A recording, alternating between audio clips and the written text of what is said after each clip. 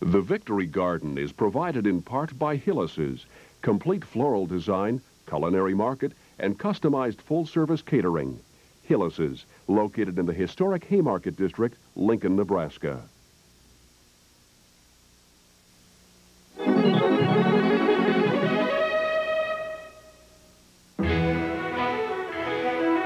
Welcome to the Victory Garden. I'm Roger Swain. Today, our West Coast reporter, Bob Smaus, up in Oregon, he's visiting Schreiner's Iris Gardens, an old-time, family-owned nursery whose sole business is bearded iris. Down in Georgia, Lucinda Mays is putting the finishing touches on a small water feature. She'll tell you how to enter this year's Victory Garden contest. Back here, I'll be planting globe artichokes. And Marion welcomes in summer with her recipe for strawberries. That's all just ahead, so please, stay tuned.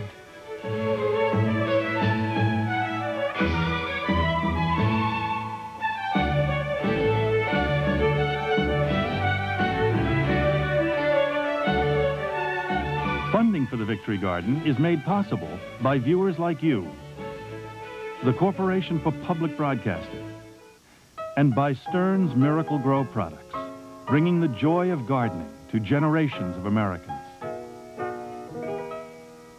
NK Lawn and Garden. Seeds, lawn products, gardening books, and products for the young gardener. Helping families grow for over a century. And Monrovia Nursery Company, producers of container-grown ornamental plants, available at nurseries and garden centers nationwide.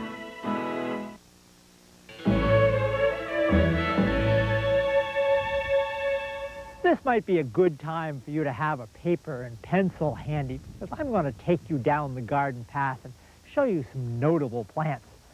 Let's start with this Amsonia, Amsonia tabernaemontana, a native of the East Coast, a really spectacular plant that's not planted enough in modern gardens. It's taken us two or three years for our woodland to begin to look like much, but now the plants are really coming into their own. Just take a look at this Daphne burkwoodii. The Carol Mackie is the variety. And oh, I wish you could smell the fragrance of these flowers. It's been underplanted with a little pink arabis. Next to it is a rhododendron ramapo, a bluish rhododendron. And oh, look how that white is just lighting up that dark corner over here. This is Phlox stolonifera, another Native American. We put only two plants in here three years ago, and look how it's spread. It's called stolonifer because it forms these surface stems or stolons, which run out and root, and this clump will just keep moving and moving, getting bigger with each year. Next to it, Lonicera tartarica, the Tartarian honeysuckle, is in full bloom. And oh, look how this collection is working out. Isn't this nice? This is Dodecatheon media, one of the shooting stars. And next to it, a yellow flowered trillium. This has the improbable smell of lemon fresh joy. Well, next to it's a red trillium and this lovely tiarella, or foam flower, which makes a very fine spreading ground cover. Around behind this maidenhair fern is a very nice clump of primula. This particular primula, primula was, was given to us by Sydney Eddison. Uh, she lives down in Connecticut, something of a primula specialist. The other side of the path here is a clump of primulas that we raised from seed ourselves and divided several times. Isn't that nice, that combination of the yellow flowers and the yellow leaf on that hosta? Well, this is the season for rhododendrons. Here's a gorgeous bluish purple. It's called blue ensign. It's probably as close to blue as rhododendrons get. It's going to have a very nice blotch at the base of that petal.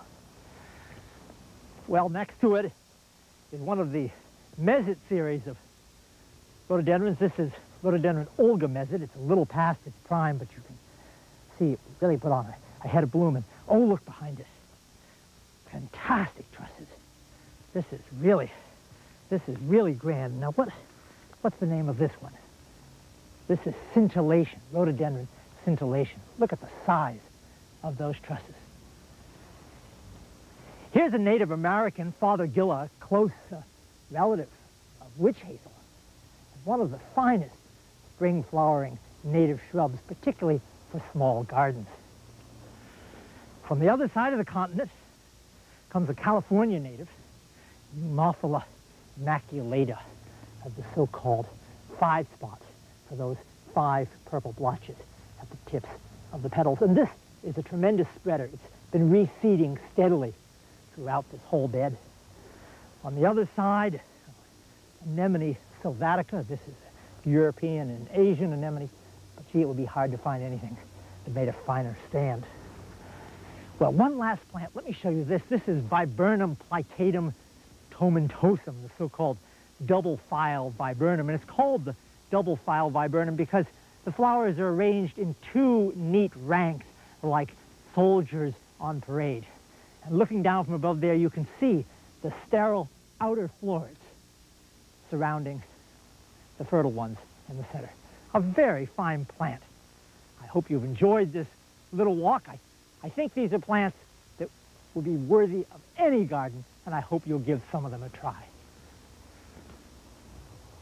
Now, all the plants I've just shown you are perfectly suited to this environment, but here's something that nobody thinks of growing in New England. These are artichokes, not our familiar Jerusalem artichoke, but the true globe artichoke, that tender Mediterranean perennial that they grow in California where the winters are so mild as a perennial. But I'm told that it's possible to grow artichokes as an annual here in New England and get them to flower the first year. Because what you eat, that artichoke, is a bud, a thistle-like flower bud.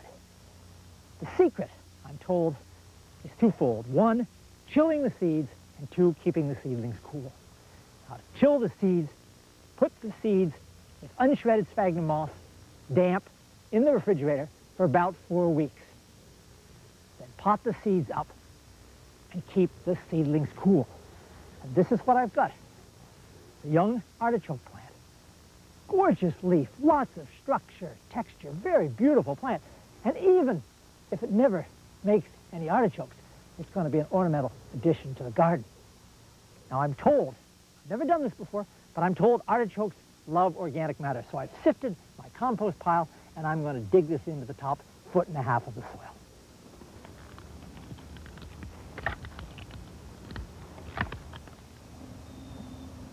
Now I'm going to supplement it with a good slug of slow-acting organic fertilizer, then dig that in.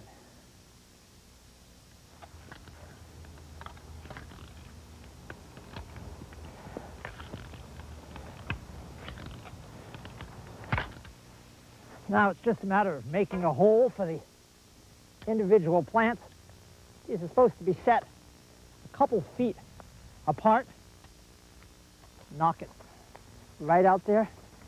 The roots are said to be delicate, so I'm going to handle it gently and plant it a little high so the crown is free draining. And then I'm going to mulch it well with straw to keep its roots cool. and Try to mimic that coastal California climate watered in well, in five to six months from sowing, I'm supposed to be guaranteed a harvest.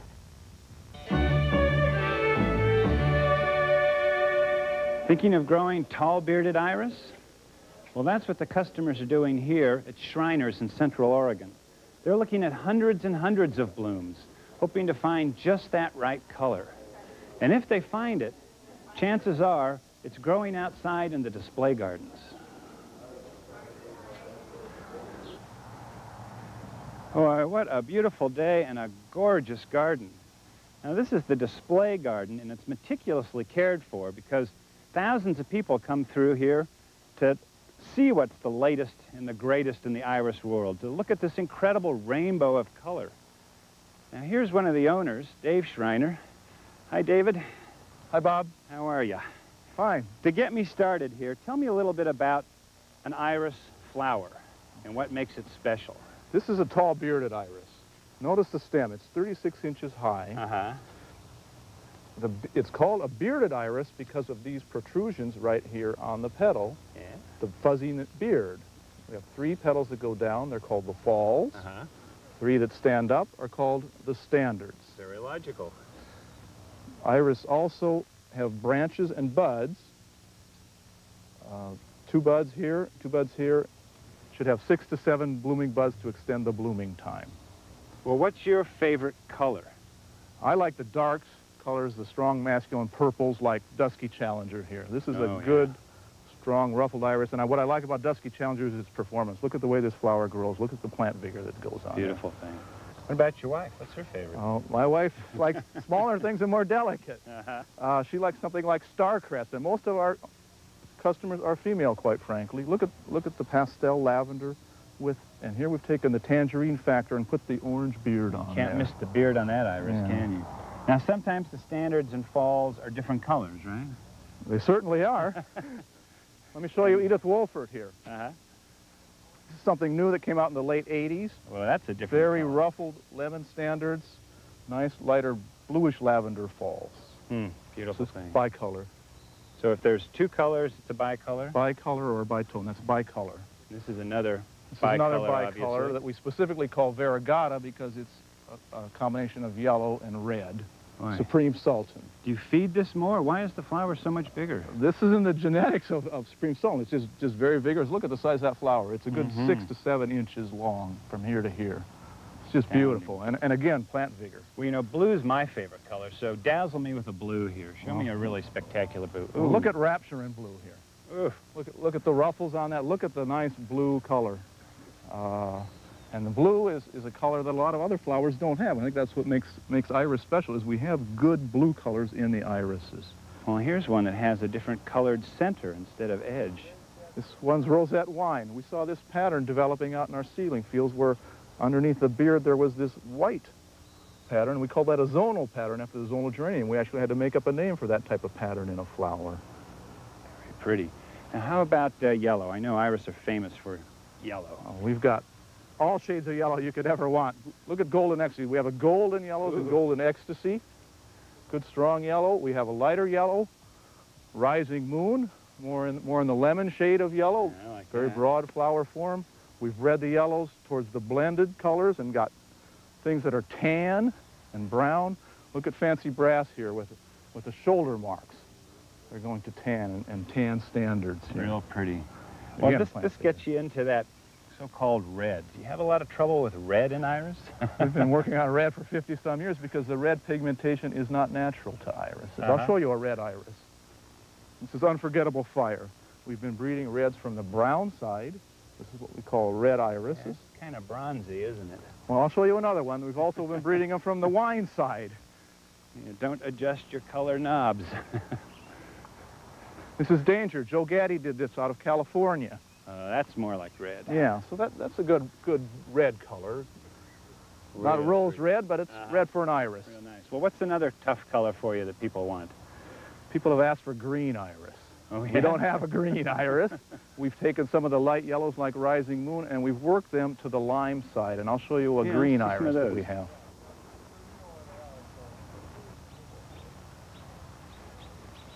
Well, Dave, how many people tour the garden on a sunny weekend like this? Well, you hit it just right. This is the weekend of the Keizer Iris Festival Parade. Uh, we should have maybe 1,500, 2,000 people out here looking at the iris Well, today. that's a nice crowd. But you know, as I walk along, I don't see any green iris. Bob, open your eyes. Oh, That's green. well, I should have known. It says Irish tune. well, so you can do almost anything with iris, but who's doing all that work for you? Who's your hybridizer here? My cousin Ray is handling the hybridizing in our operation.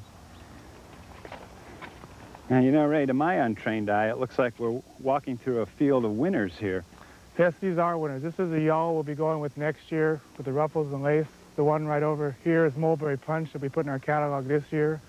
Again, it's a very different color with the flare and the ruffle. But these are the final selections. To get there, you grow what? Thousands of seedlings? We raise about 20,000 seedlings, and from there we maybe introduce 15 or so. Oh, my gosh, that's a lot of work. Now, how do you actually make the cross so that you get seed? What you Can do show is you that? take a, take, take this blue over here.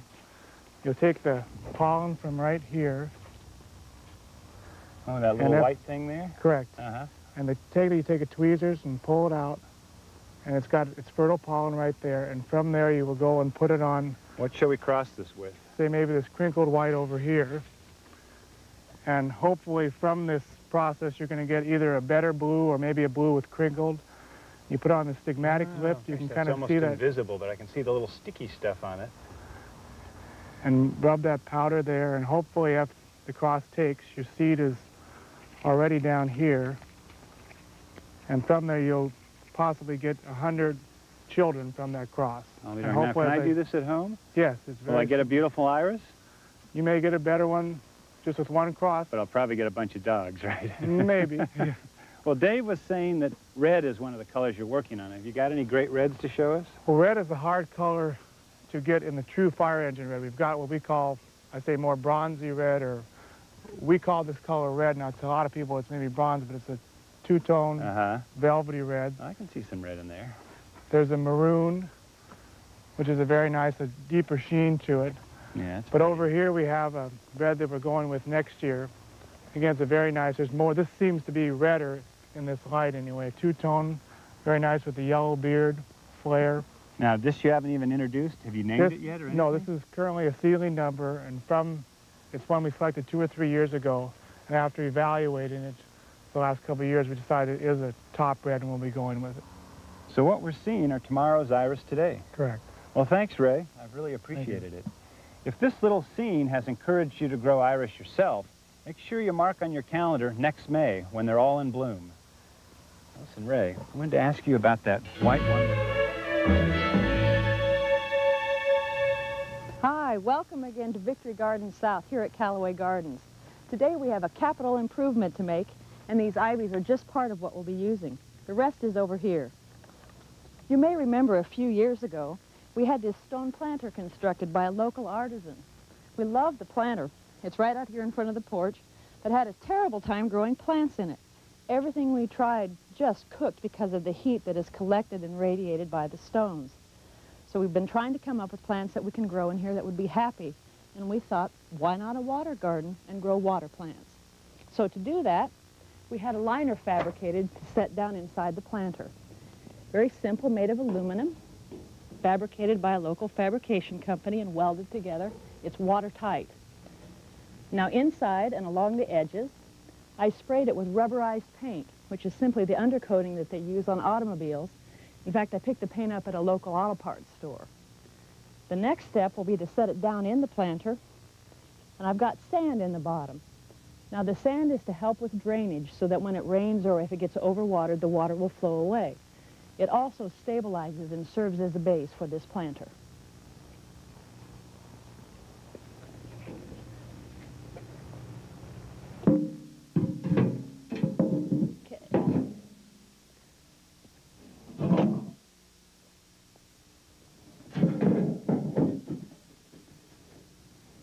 Now, the next step will be to provide something for the plants that are going to go along the edge. I need something on the edge because the stone is rough and the edge of the liner is not. So I'm going to put potting soil down in here and then I'm going to plant rooted cuttings of English ivy to cover the uneven edge and to provide a nice soft look to it. Here's my potting soil and I've mixed it with time-release fertilizer so that the ivy roots will have something to feed on while they're down in here. Now this is a messy part of the job, but it'll all wash up later.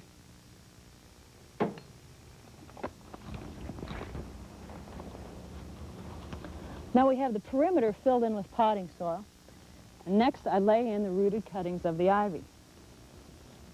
Now you think they'd get hot in here, but the water inside is going to have a cooling effect, so those roots will be just fine.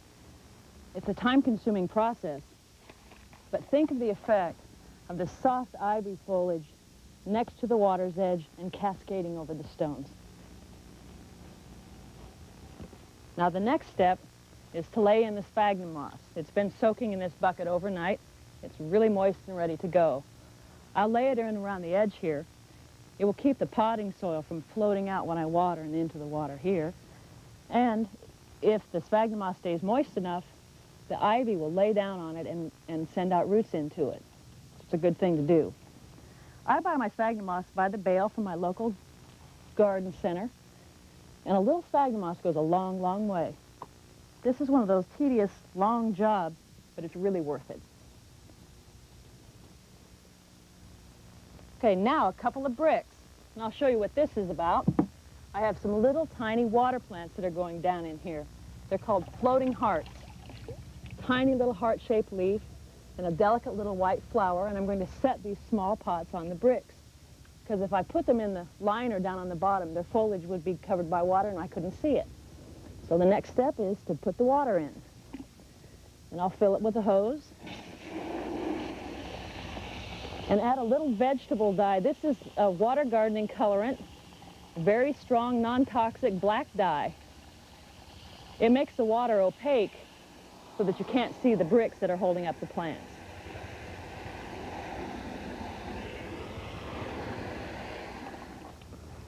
Now the last thing that remains is to set in the plants on top of these invisible bricks. There we go. Once these get settled in, we're going to have a very nice little addition to Victory Garden South. In fact, I'd like to enter this in this year's Victory Garden Contest, which is all about water gardening, but they won't let me. I can't enter my little water garden, but you can. Here's the rules, and here's how.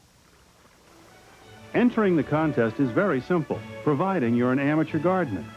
All you have to do is send us a photograph of your water garden. No slides, please. A diagram and a list of the plants you're growing. Then send it along with your phone number to the Victory Garden Contest 1992, 125 Western Avenue, Boston, Mass. 02134. Eligible entries must be received by Wednesday, July 29, 1992. All entries become the property of the WGBH Educational Foundation, and they are not returnable.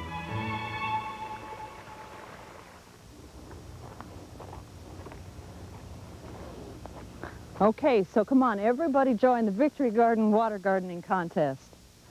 Let's take a look at this before we get into the vegetable garden.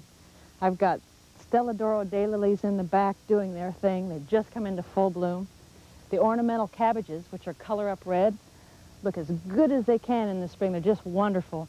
In front of those, majestic giant red pansies, and then the little alyssum dotted in and out as Cheers Rose.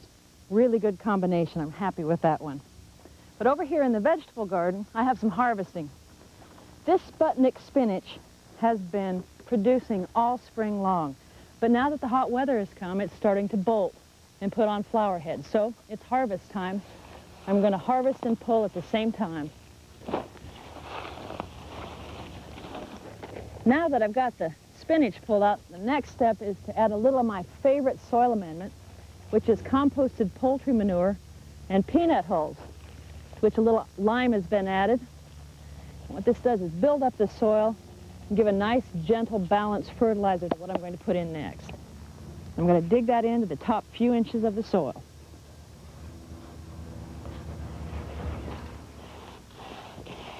Now the next crop to go in is some southern peas. Southern peas like it hot, so we waited till the soil's good and warm, and I've soaked these overnight. These are pink eye purple hulls. They're one of the best. And I'm going to lay them in pretty thickly because not everything is going to come up. Cover them over. And that's that. Now the next thing I want to plant is some okra. So I'm going to set in a little furrow, about an inch or so deep. And last night I started soaking some Clemson spineless okra. It's a good standard variety for down here. It's a little more comfortable to pick than the others because it doesn't have the spines. Now okra seeds shatter very easily, so that's why I'm laying them in this thick. Some of these seeds are not going to germinate. And if they come in too thickly, I'll just thin them out. That's all there is to that.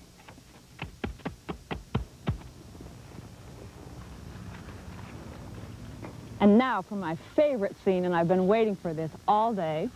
They asked me to come out to the field to pick strawberries for Chef Marion, and they didn't have to ask me twice.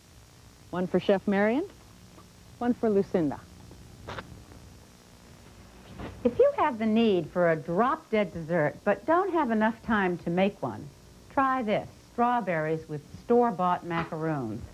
I took a quart of strawberries that were, of course, washed and cleaned and dried and then removed the cores, just like that. Then the next step is to take half of them and simply slice them into thin slices and set those aside in a bowl. The other half go right into my handy food processor and get pureed.